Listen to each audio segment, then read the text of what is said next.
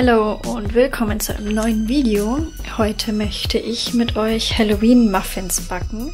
Wir brauchen einmal 150 Gramm Mehl, 150 Gramm Trinkschokoladenpulver oder Trinkkakao, was ihr zu Hause habt, 110 Milliliter Mandelmilch oder normale Milch. Das ist jetzt die vegane Variante. 150 Milliliter Sprudelwasser und 40 Milliliter pflanzliches Öl. Dann ein Päckchen Vanillinzucker und ein halbes Päckchen Backpulver. Das gibt ihr dann alles in eine Schüssel.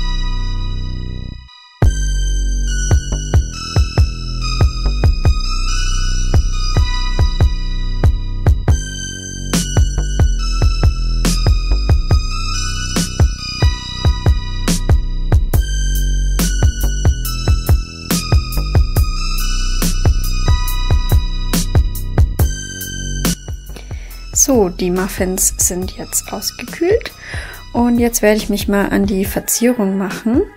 Ich habe hier einerseits von Oreo diese Halloween Edition mit Vanillegeschmack. Die sind innen drin orange. Ja, genau, wie man hier sehen kann. Und dann habe ich hier auch noch den Fondant, also einmal in schwarz und weiß. Der ist von Kaufland und den habe ich bei Teddy gesehen auch verrückt. Das ist die doppelte Menge für den gleichen Preis. Aber ja, bei Kaufland gab es nur weiß. Und da habe ich dann auch diese Augen mitgenommen, die dann später für die Spinnen und Mumien verwendet werden. Und hier habe ich auch schon die Spinnenbeine vorbereitet. Also, jetzt werde ich mal beginnen, den Fondant auszurollen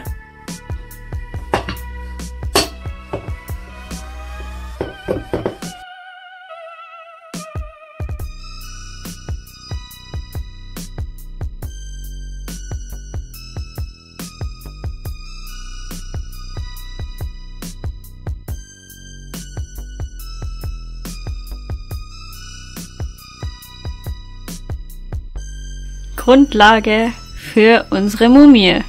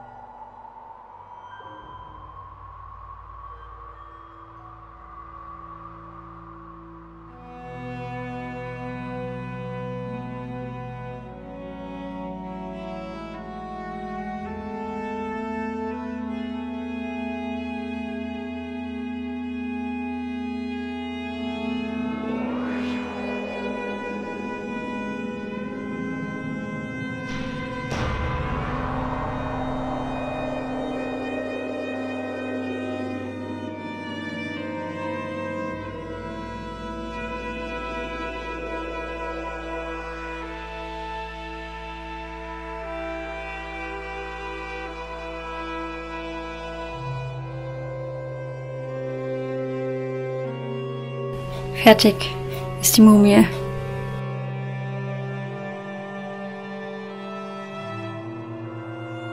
Als nächstes nach der Mumie kommt dann der Spinnenmuffin. Dazu brauche ich einen weißen Untergrund.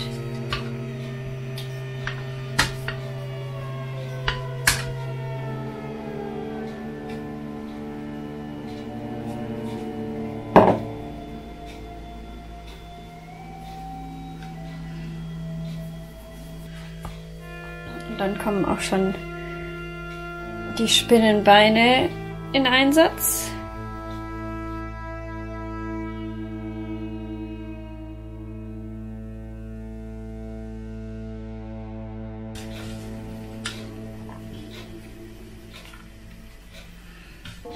Das eine Bein ist ein bisschen verkrüppelt.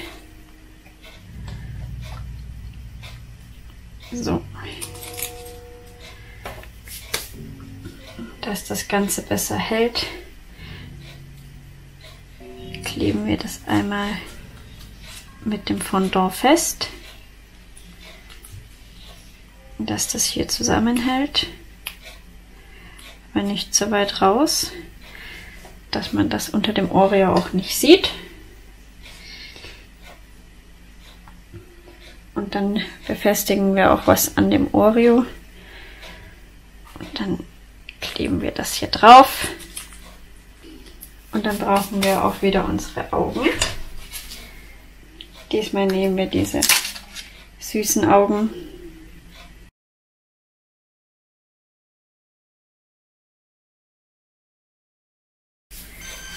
Und fertig ist die kleine süße Spinne. Ja, und dann bleibt uns nur noch das Schwierigste, und zwar die Fledermaus.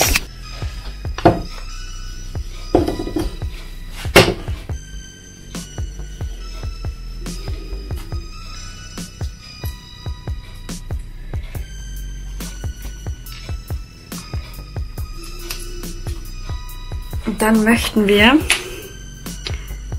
auf den Muffin so die Fledermaus kleben, dass sie quasi so steht und dann aus dem zweiten Oreo die Flügel machen. Erst formen wir noch zwei Ohren für die Fledermaus. So. Formen wir zwei süße Ohren.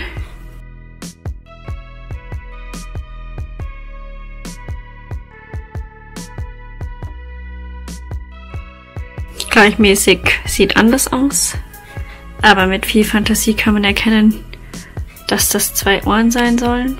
Dann wollen wir hier den zweiten Oreo in zwei Teile brechen.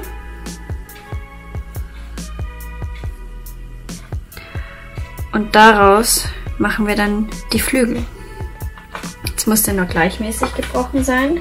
Deswegen passen wir das ein bisschen an.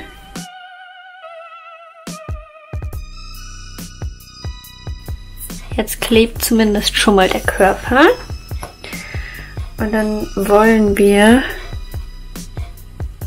solche Flügel haben. Für den ersten Versuch ist es doch gar nicht so schlecht geworden. Also das sind jetzt die Flügel und hinten habe ich sie zusammengeklebt. So, Fledermaus ist fertig. Also, wenn ich das kann, dann kann das, glaube ich, jeder.